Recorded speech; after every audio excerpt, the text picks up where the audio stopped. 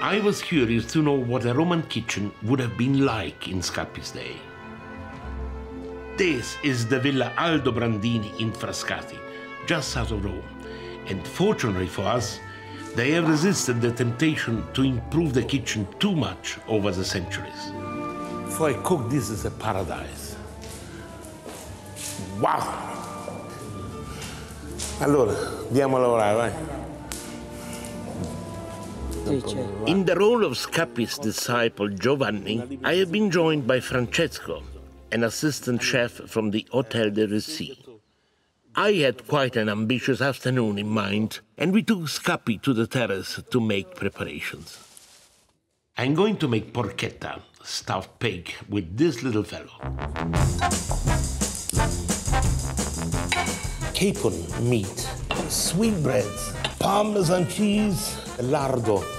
A lovely thing to do.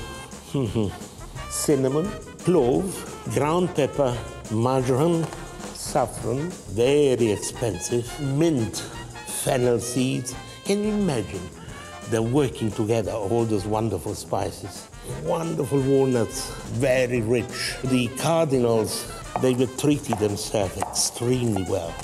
Pitted prunes, goat liver, visciole, freshly cooked, morello cherries, ginger, zenzero. Today in Italy you don't use it anymore. Raisins. Another important thing, butter. Now I am in complication. Help, Francesco.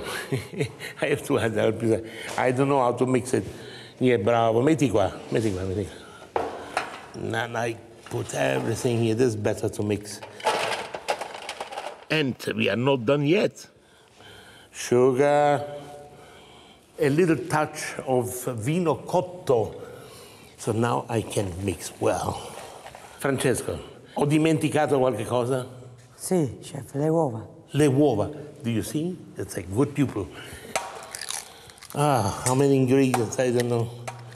So now we take this little fellow here. We will see what happened with him. And now we start with the filling. Mm. Incidentally, here in Rome, the porchetta that they do, they are 80 kilos. This is just a little baby. We have to do it really with sartorial skill. I am not very good in sewing, but I will try to do my best. Now, can you imagine this kitchen here? The atmosphere, just feel it.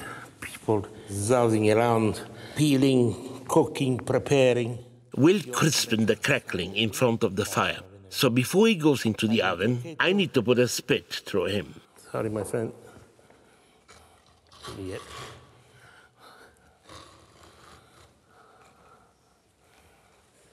Sta arrivando? Sta arrivando, è arrivato. Ah, bene. He's arrived. Now in the oven. Good. Goodbye. Goodbye, my friend. We'll check and baste him from time to time, but he will need to be in there for around two hours. A quick turn in front of the fire, and he's ready to serve.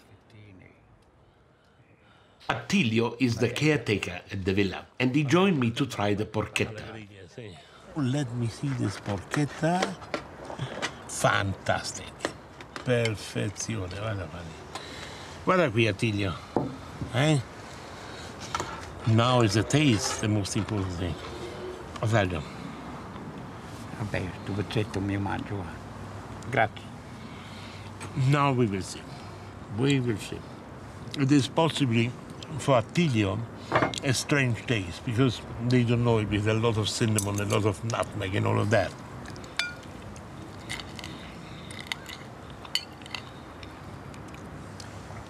Buona, È buono sì. delicious. I couldn't believe that a lot of sugar and all of that would give that taste. Salute con l'acqua, eh. ma salute. He doesn't drink wine, so salute a Attilio.